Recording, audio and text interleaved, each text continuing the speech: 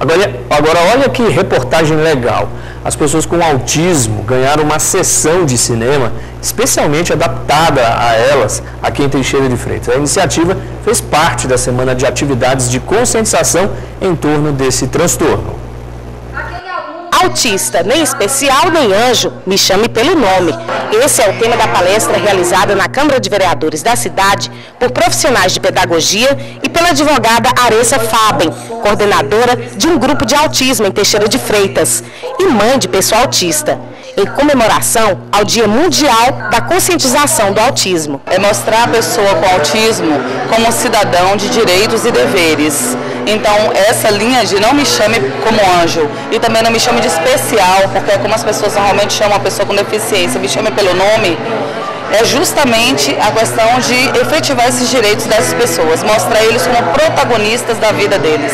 A palestra é voltada para professores e todos os envolvidos na educação de pessoas que têm o autismo. Não existe uma regra de como deve ser tratado. Na realidade, a, o basilar de tudo é o respeito.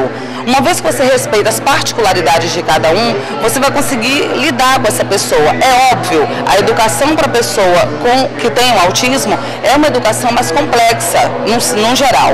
E aí o professor ele vai ter que ter a sensibilidade de compreender cada aluno daquele, cada pessoa. Fábia é uma profissional que trabalha com educação especial, trabalha em sala de aula fala que é preciso se capacitar e conhecer cada vez mais as necessidades de cada estudante. São uns alunos normal, comum qualquer.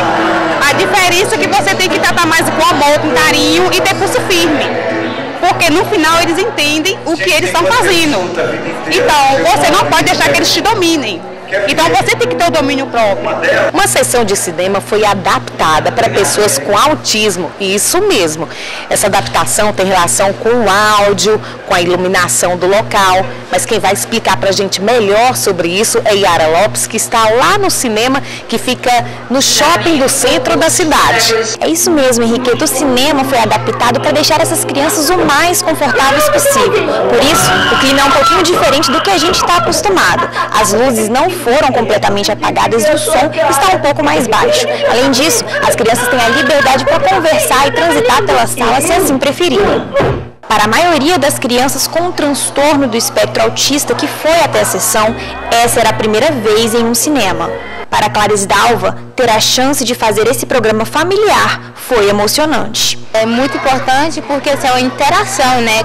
Algo que ele não, nunca fez, assim, e assim, pra gente levar ele em outro lugar no cinema normal é mais difícil, por conta que ele, igual ali, ele tá com medo, ele, ele tá achando tudo diferente, tudo novo, né? E aí é, é muito importante, é espetacular. O objetivo dessa iniciativa foi justamente incluir e acolher essas crianças que se sentiram à vontade no ambiente.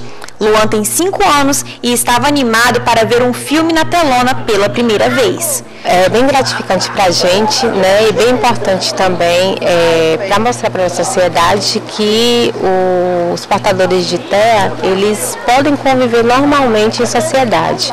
Quem tem autismo pode ter reações diferentes a alguns estímulos e a terapeuta ocupacional esclarece que por isso é muito importante ter essa opção adaptada para a sua realidade. A partir do momento né, que você adequa o ambiente, eles vão conseguir frequentar. Né? Eles vão conseguir ampliar o campo deles de atuação. Né?